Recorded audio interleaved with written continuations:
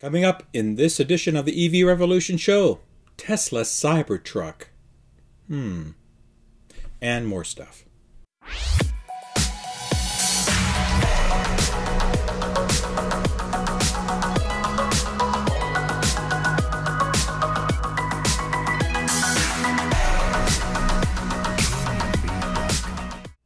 Well, welcome to this edition of the EV Revolution Show. My name is Kenneth Bokor, your host for episode 69. Sorry for the delay in getting the shows out. Uh, thank you for taking the time. I'm battling a bout of pneumonia and I'm on the downside of it now, but it's uh, still taking a little bit of its toll. So uh, hopefully, the next week or so, I'll be able to shake this fully and uh, be back to regular weekly or close to weekly productions. So, a lot of material that's happened in the last couple of weeks. So, let me get right into it.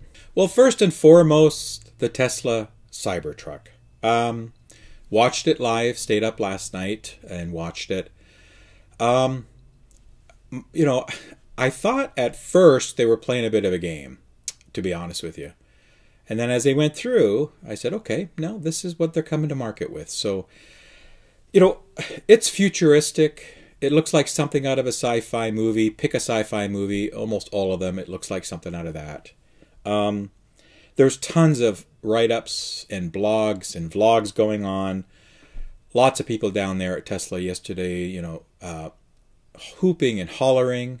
But you know, when this thing rolled up the onto the stage, it was fairly low key audience reaction, and I think that set the tone for the for the uh, reveal last night, along with that kind of eerie music that they had going, and this whole Waterworld kind of Mad Max vibe from this from everybody being dressed up and whatever. I mean, I get it. So long and short of it is, you know, the specs on this truck are awesome. There's no doubt about that, right? Tesla knows how to build electrified vehicles and, you know, great ranges, you know, anywhere from uh, my understanding uh, 250 mile plus different variants of it, um, a single motor, dual motor, and a three motor configuration you know, uh, Elon talked about ground clearances and, and uh, attack angles and things like that for pickup trucks. Great, I get it. Towing 14,000, all that kind of stuff. So I'm not going to go a lot into the specs. You can get all that stuff online. It's pretty readily available. Um, I just want to talk about my, my thoughts quickly on it. So, you know, I'm glad Tesla's uh, putting another fully electric vehicle into the marketplace. But I have to say, I was very disappointed in this release. And you know, I know Elon kind of set this up saying it's going to be something out of this world, it's going to be something different, and I get it. You know, Tesla wants to make a statement. Great. You know, um, the gaff with the windows breaking. You know, a little embarrassing. You know, it just the whole thing seemed awkward. Uh, that was kind of my takeaway from it as I watched it in puzzlement. But you know, after sitting on it for a bit and uh, digesting the material, looking at some videos and, and reading some more materials, you know, certainly going to be a, a truck that performs. Now, my disappointment in it, though, is the marketplace. You know, Elon started the presentation by talking about the pickup truck being the largest market in the US. And in fact, the Ford F 150 is the number one selling vehicle globally, believe it or not. And I've talked about this many times. So there is a, a very vibrant market for pickup trucks.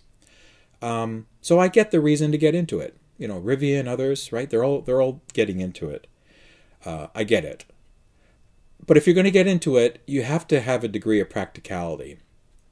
I think I don't think you can go too far out of the bubble on this, and I think that's what Tesla's done. Take away, you know, the Tesla fanatics and, and you guys that love Tesla and you'll buy anything from Elon. He can make a tin can and put wheels on it and a battery and you'll buy it. Great for you. But, you know, I gotta look at practicality and reasoning and looking looking at how this is going to move the yardsticks forward in the battle against climate change and, and the efforts to lower greenhouse gas emissions, because that's the biggest picture. Not that this is a futuristic, cool looking vehicle that people with lots of money are going to jump on for a status symbol. There's no doubt about that. But the average person and fleets and, and, and workplaces that buy pickup trucks, farmers, I mean, you know, all these different industries, tradesmen, on and on and on they are not going to touch this. You might get the odd one that wants to make a statement, wants to think their company's cool, but practical reasons, no matter what specs Elon puts on this, I don't see it happening, right? You look at the pickup trucks out there, the majority of that are there are actually being used in a work type environment. They're, they're purpose uh, built, uh, bought um, for those kind of environments. Sure, you have people that live in the suburbs that don't need a pickup truck that get that you know get a, a, Raptor or whatever because it's a status symbol. They, they never haul anything. They just drive drive around in this thing. I get it. There's a, there's that too. But that, in my opinion, is the minority of the sales for pickup trucks. You know, look at 150s, 250s, 350s. Look at the dualies. All these things. You know, tow trucks. All this kind of stuff that's out there. Um, it's a big industry and becoming you know bigger as we go. And I I'm sorry to say that I don't think this truck's going to make an impact in that industry. Yeah, it'll sell some. There's no doubt about that. The Tesla name's going to carry it forward. But as far as really making an impact on the pickup truck market, no way. I don't think this thing is going to do what some of you may think it will.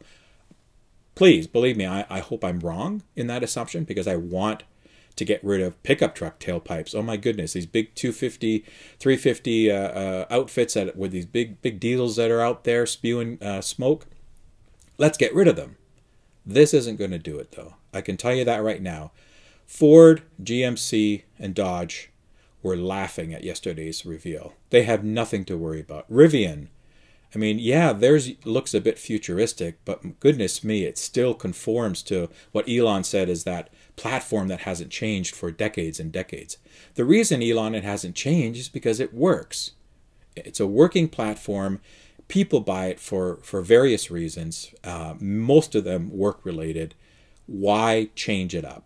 Making a statement is one thing. I don't think Tesla needs to make a statement. They've proven themselves in the market over and over again by just continuing to beat analysts, continuing to not go under as many people have thought they would have for years.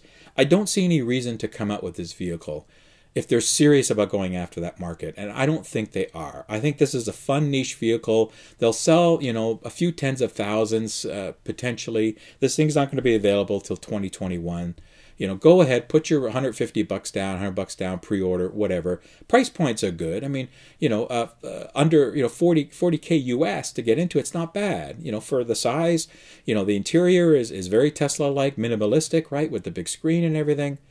It you know looks okay. Um, would I touch this thing? No way. Even if I was in the market for a pickup truck, I'm sorry to say. So you know, say what you want about the, the, the Tesla pickup truck. You know, again, I'm glad they're adding another model to the lineup. But my my dose of reality here in this conversation, folks, is I, I'm really disappointed because I think Tesla had an opportunity to really jump into this market because Ford's not there yet, GMC's not there yet, Dodge isn't there yet. Rivian's an up and coming, and they're only going to maybe produce about 40,000 in the next year or so. So very small numbers compared to the you know, uh, five. I forget what the number is for the for the F one fifty, but it's in the millions per year. This is not going to make a dent in that market. I'm sorry to say, and I really wish it would because that is a key market to go after. Chew on that, folks. Let me know your comments. I'm probably going to get some haters, of course. I don't hate Tesla. Um, I'm going to get some trash, uh, I'm sure, comments. I'm just speaking from a voice of reality, in my opinion, and I think this is a big miss for Tesla. Now, staying with Tesla on some more positive news, they've announced a short time ago that they're going to build Gigafactory 4 in Germany. In fact, they've narrowed it down to the Berlin area in Europe. Uh, at a site called uh, Grünheide, if I pronounce it that uh, correctly. Uh, it's about uh, just outside uh, of Berlin, but on the southeast side of it. Um, Tesla predicts that it'll employ up to 10,000 people, with 3,000 starting in the first phase. Um, they have to get permits and permissions and all this kind of stuff, which they're working on. Uh, so they're nowhere near even breaking ground. Um, they predict that they will build batteries, uh, powertrains, and vehicles starting with the Model Y. So that's great for the European markets. Um, they predict that it should be up in at least first phase should be operational by the end of 2021. So we're looking at about another two years from this point, which is pretty aggressive. I mean, it takes time to build factories. I mean, certainly Shanghai is going, you know, has been built really, really fast. So, you know, uh, there's no doubt that Tesla will probably hit these timelines because they want to go to market with their products and they need to increase their production and, and supply chains as well. So, uh, that's a great announcement. And uh, keep your eye on uh, if anybody's in that area and they start seeing uh, the, the factory being built. Let me know what you think. Take a couple snapshots. Going to switch gears uh, just briefly before I get into more automotive stuff. You know, I talked about mass transit in a lot of the, different shows in various configurations. You know, we have buses, we have boats, we have uh, ferries, all this kind of stuff that can be electrified, even planes at some point. You know, at least smaller commuter planes uh, are, are on the brink of being electrified.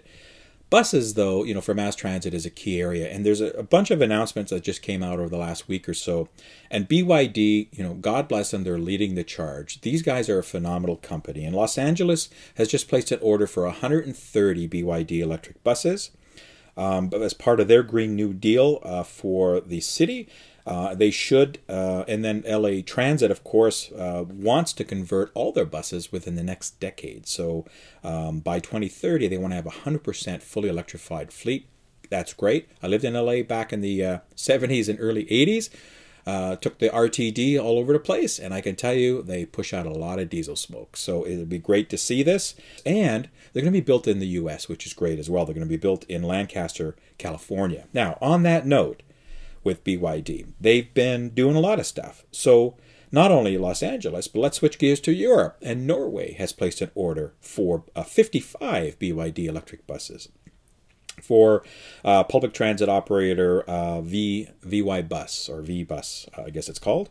Um, and uh, on top of, I think, 23 that are already uh, been ordered pr- uh, prior. These are uh, 12 meter buses. They should be delivered in the second quarter of next year. That's pretty aggressive. So by by the half time of next year, and they'll be you'll be seeing these uh, carry people around uh, Norway's capital of Oslo. So again, another important step in public transit, and you know to carry on that theme.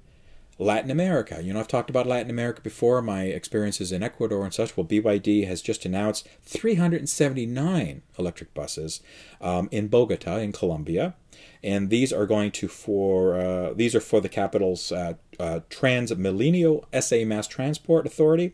Starting in September of next year, they're going to deploy these buses, and that's on top of 64 buses that were purchased by the city of uh, Medellin already earlier this year, which gives a total of almost 450 buses for the BYD for the Colombian fleet for those cities from BYD. Um, that's just staggering. Now, one last announcement on buses. And are you getting tired of buses? Um, this isn't BYD, this is Volvo is going to deliver 157 electric buses for Transdev. And Transdev is in uh, the city of uh, Gothenburg, Gothenburg. Um, and these are 150 passenger buses. Now, these are the accordion style buses, so the expansion buses, so that's why they can hold a lot of folks. Um, so there's lots of stuffs going on in the busing, and uh, I'm going to get into this in another show because I don't have time today. There's so much material, but I'm going to talk about the importance of this and why this is. BYD is doing some amazing things under the radar. Nobody's really paying attention to. I try to, you know, capitalize on these announcements because I think it's very important. And I'll stay tuned for an upcoming show. Where I'm going to dive a little bit deeper into that mass transit uh, uh, story and tell you why it's so important. So, congratulations, BYD and Volvo, for all these wins. Quickly talk about VW, lots of announcements from them, so I'm trying to shake through what's there. But one of the important things is they've actually broke ground on the Chattanooga plant in the U.S., where they're going to be building the North America ID platforms vehicles. Um, they're expanding uh, that plant for eight, uh, with an $800 million investment. It's going to add a thousand jobs, um, probably a bit more, uh, almost 500 and, uh, almost 600,000 square feet. And they're also going to uh, build a new battery pack assembly facility. Um, production begins in 2022, so only about two years for the ID vehicles. Uh, great, you know, we've heard a lot of stuff from them. I'm glad to see that they're actually starting to do construction and uh, start to implement those changes so they'll be ready in a couple years.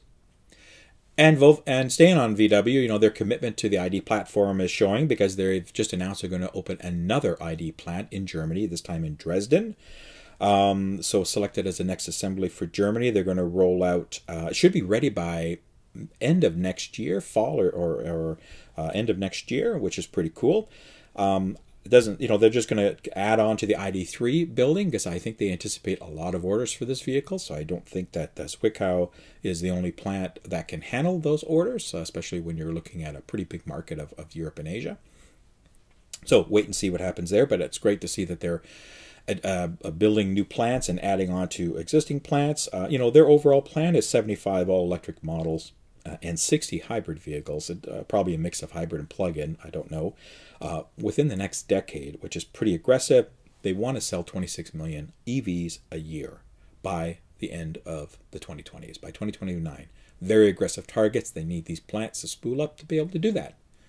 Anybody lives in that area, let me know what you're seeing. So let's bring some more cars back into the fold here, bring some things down to reality. A quick mention about Skoda. They've actually just started manufacturing the Citigo EIV. Uh, it's a lot to say.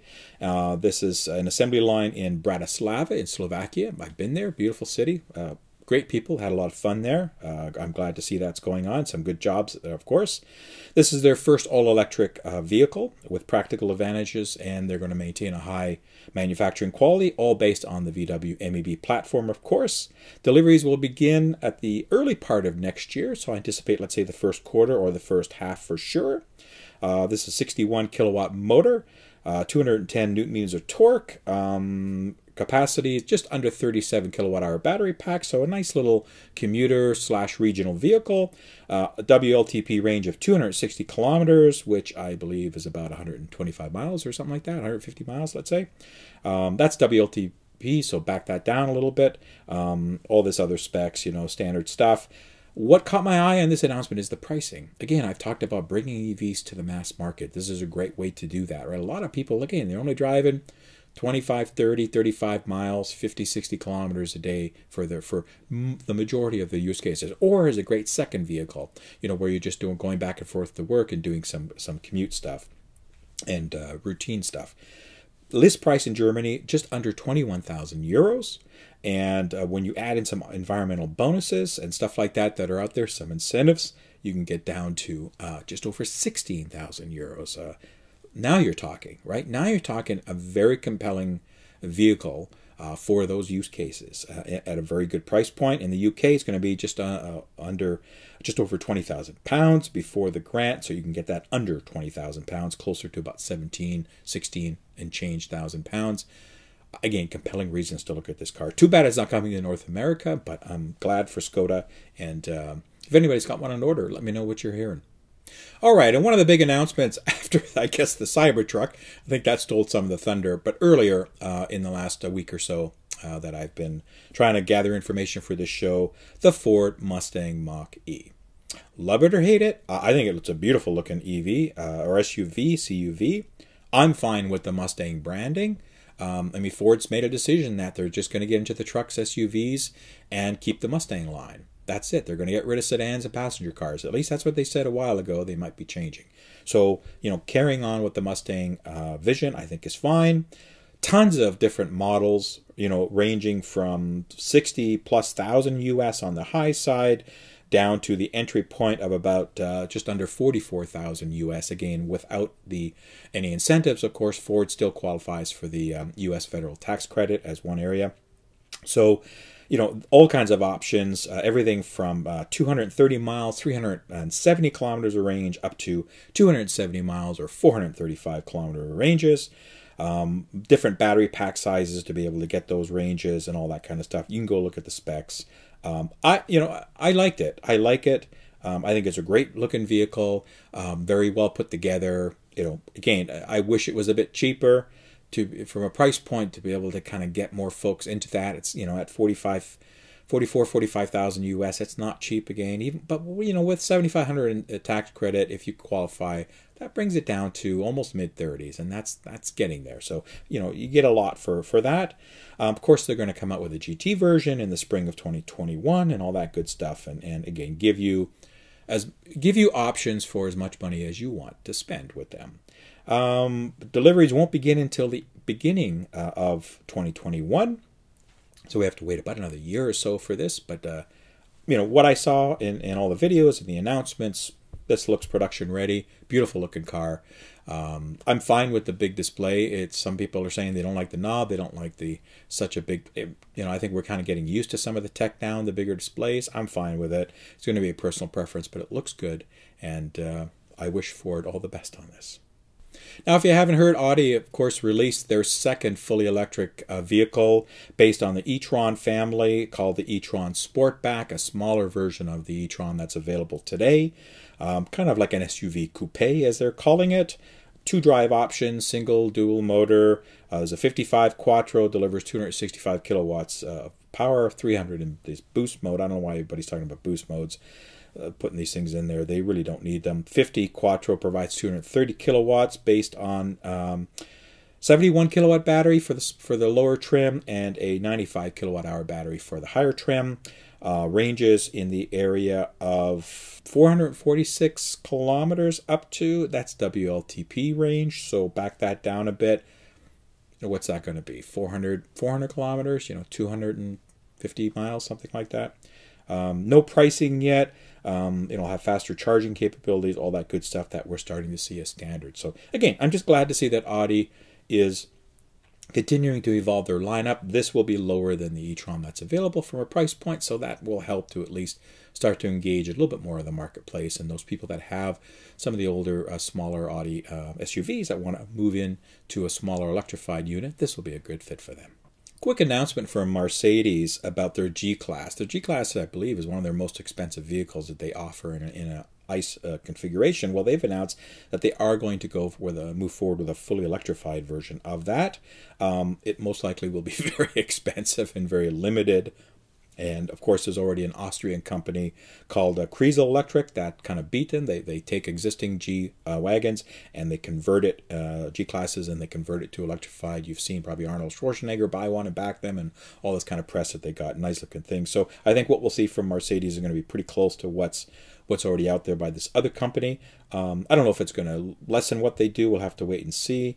No, no specs, no um, pricing. I mean, it's going to be expensive, anything like that. So you know, figure 250 let's figure 3 to 350 kilometer range so 2 200 to 250 miles something like that we'll have to wait and see uh, again you know good to see more choices coming in uh, I wish it would again. I wish it would come down in price, and these manufacturers would start thinking a little bit more lower. Uh, there's going to be a high end, you know, it'll be a very selective model, but good to see something else uh, uh, from a choice in the electrified market.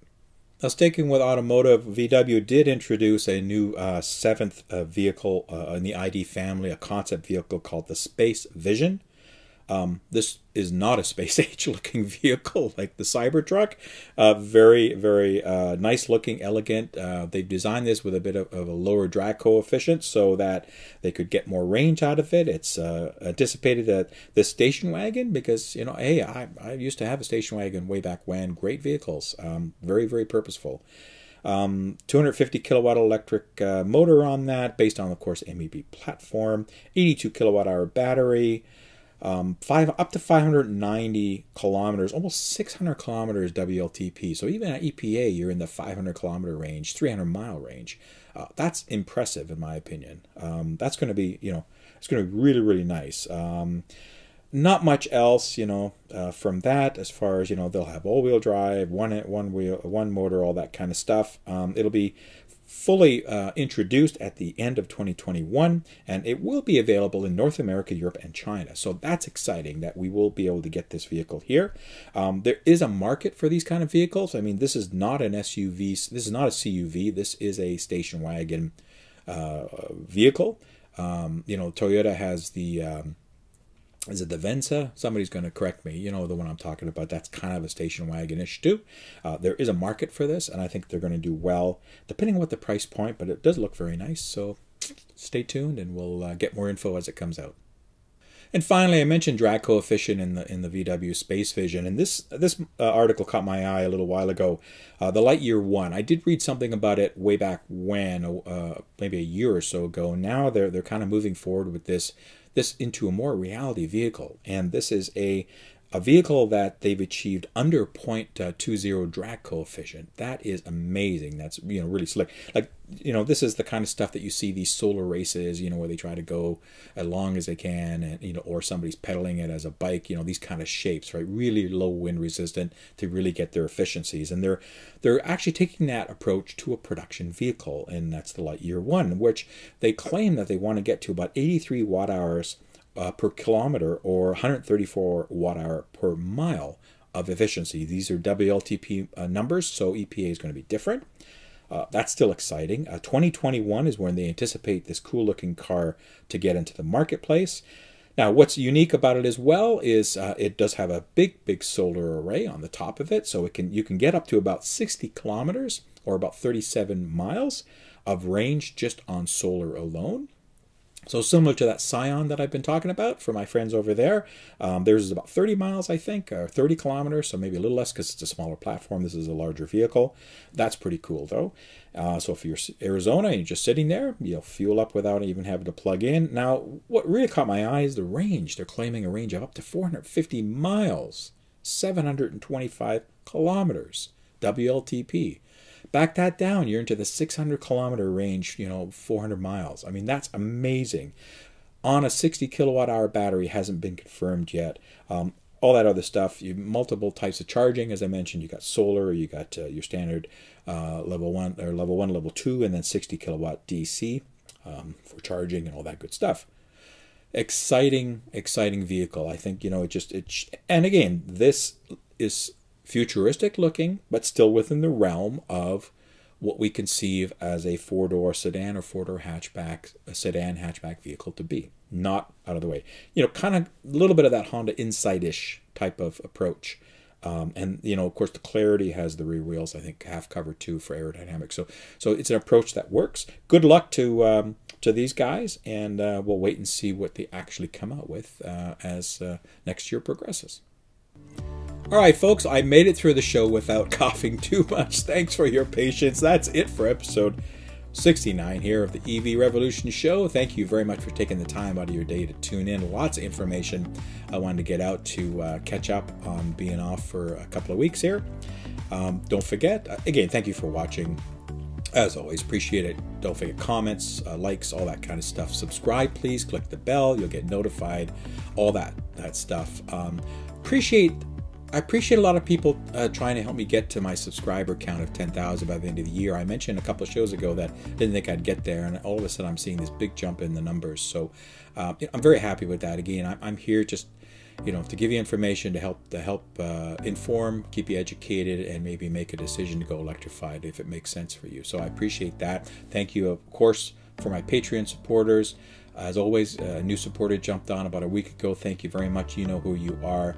Uh, everybody's recognized on every show and the thank you credits that come up. So, you know, I want to make sure that everybody's recognized for that. Thank you for that. Don't forget, fully charged again, America. I'm sounding like a broken record here. Austin, February 1st, 2nd.